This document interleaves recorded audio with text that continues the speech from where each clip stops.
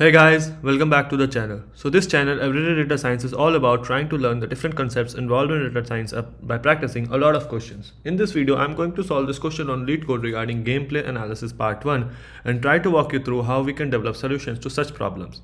This question has been asked in Amazon interviews a couple of times in the past one year. Okay, so let's jump right in. We are given a table called activity with four different columns, player ID, device ID, event date, games played, and these are the data types. The combined columns player ID and event date is the primary key of this table. This table shows the activity of players of some games. Each row is a record of a player who logged in and played a number of games, possibly zero, before logging out on some day using some device.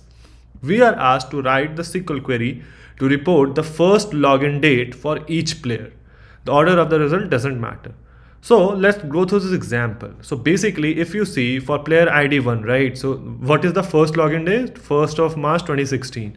For 2, there is only one date. Uh, so obviously this is the first login date, 25th of June 2017. For player ID 3, 2nd of March 2016 is the first login date. And that is what we need to return. So this is very simple question. All we need to do is uh, we uh, we can go two routes here, right? We can use group by or what we can do is we can use window functions.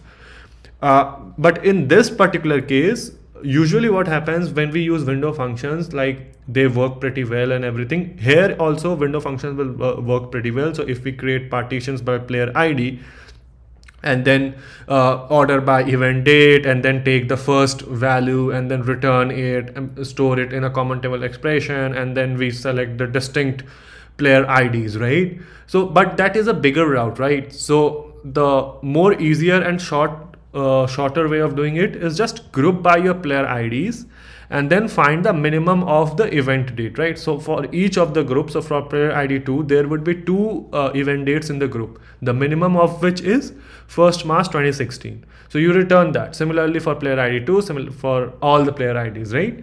So what we can do is from this table called activity, we can group by the player ID and then return the player ID as well as the minimum value from the event date column. And we can alias it as first login right? So minimum of the event date would be the first login and these for different players uh, it will return the first login dates right? So we can go ahead and run this and see what happens so yeah, this is accepted. Our output is same as expected output. Let me go ahead and submit it to see if it passes all the test cases.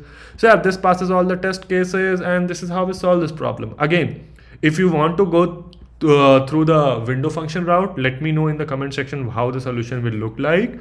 I just mentioned the window function as well because this can be done in, uh, in that way as well.